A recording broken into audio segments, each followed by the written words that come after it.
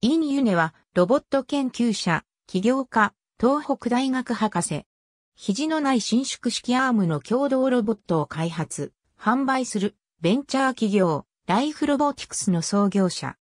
ETS7 搭載ロボットアームの遠隔操作実験、ハプティックインターフェース、RD ミドルウェアやスキルトランスファー技術でも実績がある。東北大学助手、クイーンズ大学ベルファスト訪問研究員、産業技術総合研究所研究員を経て、ライフロボティクスを創業。CTO、CEO、代表取締役を歴任。2018年にファナックが同社を買収後は産総研主任、研究員に復帰し、エピスト株式会社やウィズパートナーズのアドバイザー、メルカーレ R4D アドバイザリーボードのボードメンバーなどを兼任。2021年2月よりサムスン電子グローバルテクノロジーセンター常務役員。1972年1月、在日コリアン3世として兵庫県に生まれる。小学生時代はボーイスカウトに参加し、スイミングの選手でもあった。プラモデルやラジコンも好きで、プラモデルやアニメの影響でガンダムなどロボットにも興味を持つ。中学、高校では陸上競技に励み、中学では三段跳びで地域記録を出し、高校では棒高跳びの県強化選手にも選ばれた。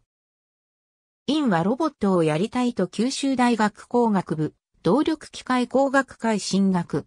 しかし学部では熱力学の研究室に配属され、大学院修士課程でもロボット系の研究室に入れず、材料系の研究に取り組む。しかし院は、ロボットの研究をするため、東北大学の博士課程を受験し、合格。修士課程の研究と並行して、ロボット工学関係の授業を受け、将来に備えた。1998年3月、院は九州大学大学院工学研究科を修了。院は東北大学内山研究室で ETS7 搭載ロボットアームの遠隔操作に取り組んだ。写真は、インが用いたものとは異なる、平心3自由度のハプティックインターフェース。インが開発したものは、平心3自由度の改良型デルタ機構の上に3自由度姿勢機構を付け加えた6自由度。1998年4月、インは東北大学大学院工学研究科航空宇宙工学専攻に進学し、内山勝の研究室に所属。翌年の1999年7月で中途退学し、8月から同研究室の助手に就任する。院は宇宙開発事業団や東芝とも連携した ETS7 搭載ロボットアームの遠隔操作実験に参画。遠隔操作には制御対象から力がフィードバックされるハプティックインターフェースも用いた。2001年、誘われて産業技術総合研究所の研究員に着任。内山研究室の指導も仰ぎつつ、末広直しの下で、ハプティックインターフェースの研究に従事。デルタ機構の球面待遇を回転関節で置き換えた改良型デルタ機構に対する合成解析や、それを元にした新型機の開発に取り組む。この技術は特許出願され、後年三層圏で特許化された。2003年9月、論文博士として東北大学で博士の学位を取得する。学位取得後の2003年10月より1ヶ月、院はクイーンズ大学ベルファストで訪問研究員を務める。その後は末広直しや北垣高成らの下でタスクスキル、スキルトランスファーの研究に従事。原子力委員会の評価のもとに、文部科学省原子力試験研究費の援助を受けたプロジェクトでオペレータがハプティックインターフェースで遠隔操作することにより、バルブの開け閉めや三極プラグの挿入などのスキルをロボットに獲得させた。インは一連の研究でいくつかの賞を受賞するを開発。ラプダを実際に障害者の方に試してもらっていく中で、研究で終わらせずに実用化させることの必要性を意識。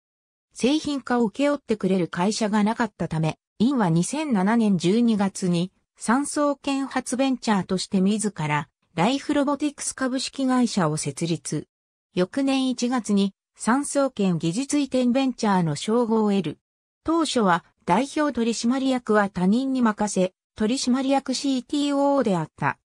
院は他の研究員とスキルトランスファーや RD ミドルウェア、冗長性のあるロボットアームの逆運動学の研究も実施しつつ、数年間は一人で、かつ無給でベンチャーの開発に取り組んだ。この間、2011年に改良された自稼働伸縮機構を開発し、特許出願。院は共同ロボットの必然性も感じており、生産現場用の猫も開発。オリエンタルモーターと共同で小型軽量のステッピングモータシステムも開発した。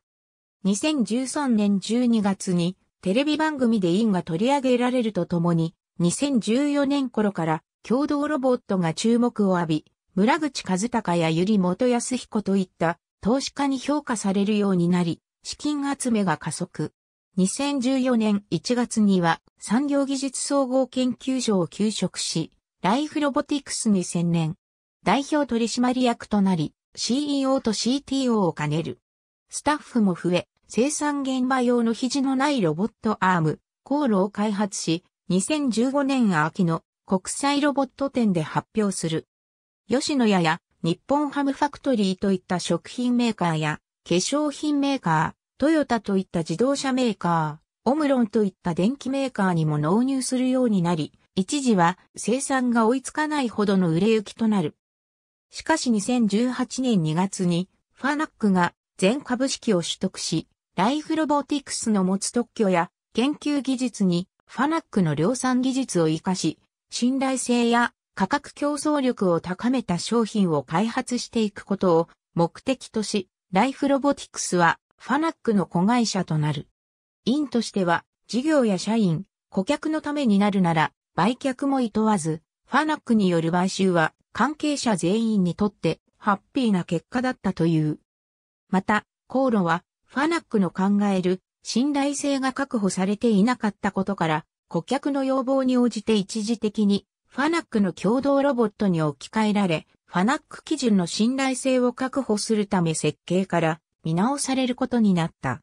インはライフロボティクス代表取締役を任期とともに退任し、2018年度より産業技術総合研究所情報人間工学領域主任研究員に復帰。情報人間工学領域研究戦略部連携主幹を務め、人間情報研究部門にも所属する。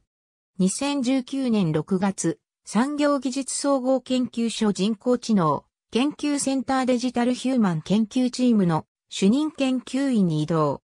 さらにエピスト株式会社やウィズパートナーズのアドバイザーやメルカーレ R4D アドバイザリーボードのボードメンバーにも就任した。2021年1月には産業技術総合研究所を退職し、2月よりサムスン電子グローバルテクノロジーセンターの常務役員に着任。院は写真のような丸バルブも人間が遠隔操作したロボットでスキルを獲得し、再現させた。院はこの成果の学会発表で学会の部門若手、奨励賞を受賞。他のタスクも含めた研究をまとめた論文で、財団の論文賞も受賞した。ありがとうございます。